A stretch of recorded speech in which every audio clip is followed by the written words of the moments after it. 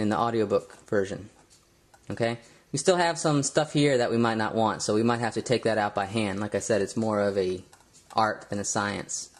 But if you recognize patterns like that, like like all the lines you don't want have the word weak in them or something, then you can make it easier on yourself. Also, you can look for lines that begin with numbers or end with numbers. There are different regex patterns you can use in that. Let's assume that this is my final version of the uh, text file, and I want to convert this into a audio file. So I'm going to save this. I still have the PDF, remember. I can still work with that on my own. As a, I can make notes on that or whatever, make copies of that. But this is what I call a script. So I'm going to name this as script of heating brochure. Save it on the desktop. Okay. And now it's that's the name of it. Now the last step is to open another program. And this program is called TextAloud. T E X T T E X T A L O U D.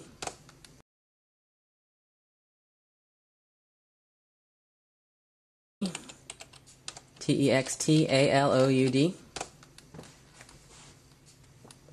Okay?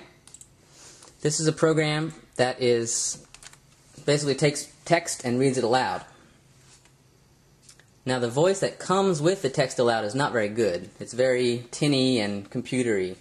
The voice I recommend is this one called NeoSpeech Paul 16K. And this costs a little bit extra to buy the, the Paul voice uh, from, from TextAloud. It's actually created by AT&T, but it's very good quality. So all you do, either you can load the text directly into TextAloud with copy and paste like we did before with regex, or what I like to do is just go straight to the batch file converter because a lot of times uh, if it's a long book, I'll, ha I'll have it uh, split into more than one part there's a maximum level, I think it's probably one gigabyte, that the output file can be.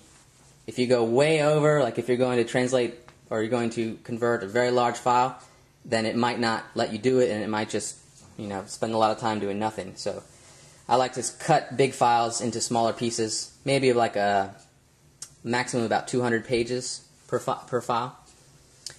Okay, so just in here, there are some options. You're going to add the file, and that file is going to be the one I just made script heating brochure open then the output directory you can put that in I'm going to leave it the way it is uh, the encoding is going to be the same. Output is going to be mp3 quality and the voice is the Paul voice. And then you just go to convert. And it converts it. The output is going to be named script heating brochure, the same name as the text file, but now instead of .txt, it will be .mp3. And then you can listen to it either on your computer or on your MP3 player. So that's basically how you take text documents and turn them into audiobooks and or ebooks.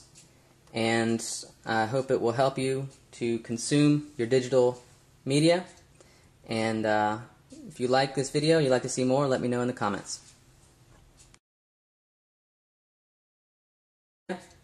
And uh, if you like this video, you'd like to see more, let me know in the comments. Hot water making use of solar energy as a long-term investment a solar energy water heating system makes a lot of sense.